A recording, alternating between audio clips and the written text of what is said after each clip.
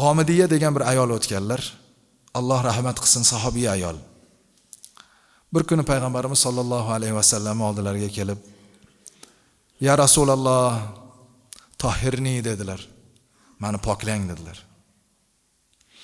Shunda payg'ambarimiz sollallohu alayhi vasallam nimaga? dedilar. Men zino qildim dedilar. Yo'q hozir bunaqa odam. Zino qilib turib zino qilib qo'ydim nima qilay deydigan odam yo'q.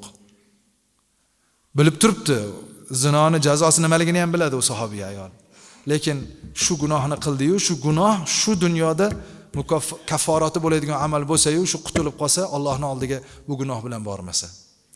Rasululloh nima dedilar? Vayhak irji'i istag'firillah va tubi ilay. Qayt dedilar? Allohga istig'for ayt tavba qil sen bu ishni qilmagandursan dedilar. Ya rasululloh sizga mendan oldin moiz degan bir inson kelib zino qildim deganda qaytaruvdingiz mani ham shunaqa qaytarmoqchimisiz? Yo'q man hazillashmayapman. Haqiqiy ma'noda o'zim sizga guvoh bo'laroq aytyapman. Zino qildim. Meni poklang shariatni haddi nima bo'lsa shuni qiling dedilar. Payg'ambarimiz sollallohu alayhi vasallam nima dedilar? Bor dedilar. Homilangni tuqquningcha kema ko'zimga ko'rinma dedilar. Chunki homilador bo'lib qoluvdi zinodan. Bolali bo'lib keldi. Ya rasululloh mana tug'dim qo'limga oldim chaqalog'imni. Endi islomni haddini amalga oshiring. Man allohni oldiga zinokor bo'lib ketib qolmay. Dedilar bor dedilar. Bolang non yeydigan yoshga yetganda kelasan dedilar. Haligi ayol qaytib ketdi va bir necha yil o'tib bolasini qo'liga bir burda non berib rasulullohni huzurlariga keldi. Ya rasululloh mana bolam non yeydigan yoshga yetdi. Shunda payg'ambarimiz sollallohu alayhi vasallam sahobalarga endi zinoni haddini amalga oshirishni toshbo'ron qilishni aytdilar. Toshbo'ron qilindi haligi ayol vafot etdi.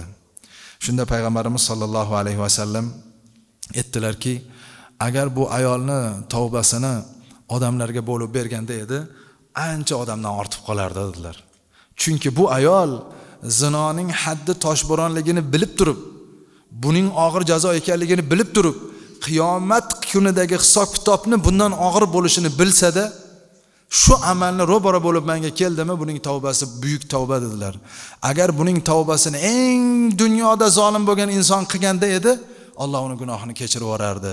Shu uchun bu inson sizlarga ibrat bo'lsin dedilar payg'ambarimiz sallallohu alayhi vasallam. Ba'zida ko'rmayaptiku bilmayaptiku deb o'zimizni gunohini ko'zimizni qisib yoki qalbimizni tugib ketaveramiz. Lekin aslida azizlar unutmaylik bu o'zim uchun ham sizlar uchun ham aytadigan narsam shuki avvalo gunoh qilmaylik gunoh qilsak darrov tavba qilib uni haqqini ado qilishlik. Bu haqiqiy sizu biz oxiratdan umidi bo'lgan mo'min musulmonlarning sifati bo'ladi.